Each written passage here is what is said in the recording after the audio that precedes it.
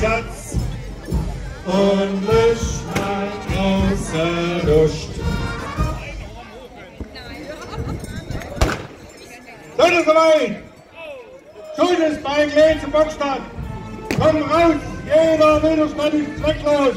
Wir halten ein Bogen Steg und, und, und jede weitere Anstrengung zur Verteidigung ist völlig sinnlos. Im Moment sehe ich dazu überhaupt keinen Grund. Unser Keller ist gut gefüllt und uns geht's ausgezeichnet.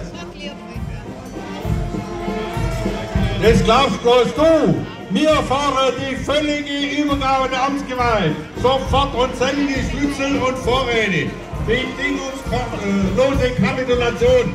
Und du musst uns den Ort übergeben und zwar jetzt und gleich.